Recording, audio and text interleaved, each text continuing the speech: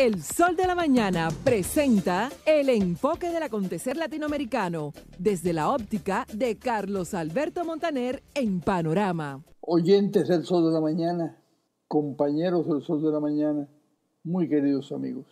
Armando Guzmán es un especialista en los temas latinoamericanos y acaba de publicar un artículo en Los Angeles Times que no tiene desperdicio es sobre la novena cumbre de las Américas.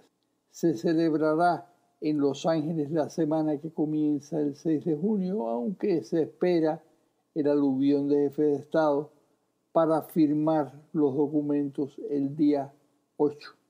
En él se tiene muy en cuenta la posición de Andrés Manuel López Obrador, AMLO para sus amigos y adversarios, sobre las invitaciones a tres dictaduras que se apartan diametralmente de las prácticas democráticas, la cubana, la venezolana y la nicaragüense.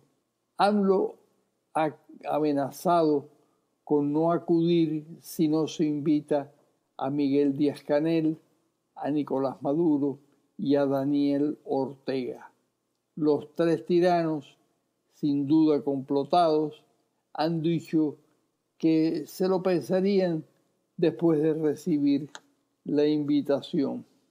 Dice Armando Guzmán, y a mí me parece bien, que la carta que creó estas reuniones y cumbres de mandatarios en 1994 dice textualmente, son reuniones de jefes de Estado elegidos democráticamente.